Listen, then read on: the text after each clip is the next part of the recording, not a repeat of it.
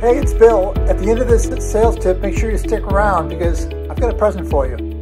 Good morning! Imagine meeting someone for the first time, someone you've been trying desperately to meet, a decision maker, a big kahuna, and you're shaking hands and you say, hello. And then nothing else comes out.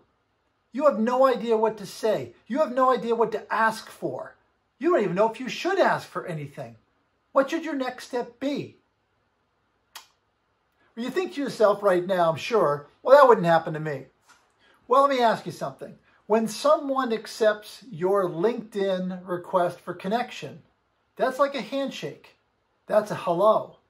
Do you know what to say next? Do you know how much is too much? Do you ask for an appointment? Do you make a pitch? When do you make a pitch? What do you have to do? How long do you have to wait?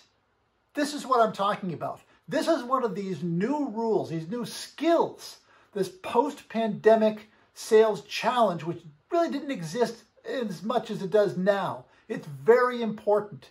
It's not enough to have a nice profile picture, although you should. It's not enough to have a nice background, something engaging, although you must.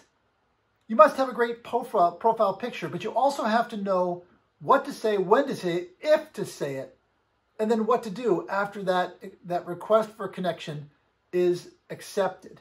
Let me share some information with you. I'll share some advice that I paid for because my social media guru charges me for things that we call Mattyology. Madeline suggested that we be a meaningful contributor.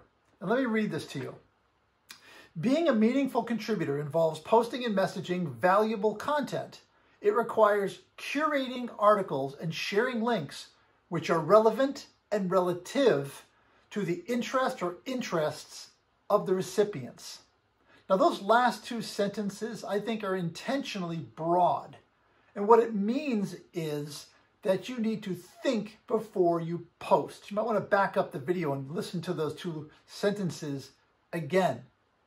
Curate what you are going to share. Your goal is to have a reputation for valuable information so that when someone sees that you've posted something, they think, oh, everything in the past that this person has posted has been of great value, of great interest to me. Therefore, I'm going to read this as well.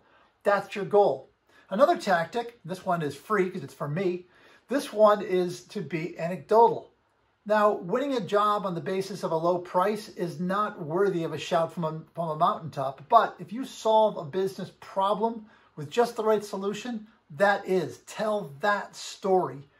The point is that before you go, and I think I think Madeline would agree with me here, before you go and ask for anything, before you go and pitch anything, you've got to build that foundation. You've got to earn that request. That's the only way that your request for an appointment will be accepted. Because if you go too early, delete. I know I will. The front door is locked. People are working from everywhere in order to make a connection with decision makers, these are the kind of skills that we need to master. So get started and have a great selling week, and I'll talk to you next Monday.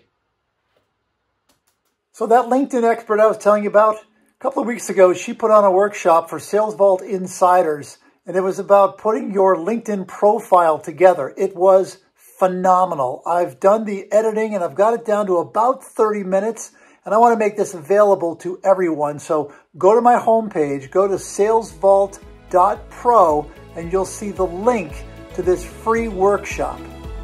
You're welcome.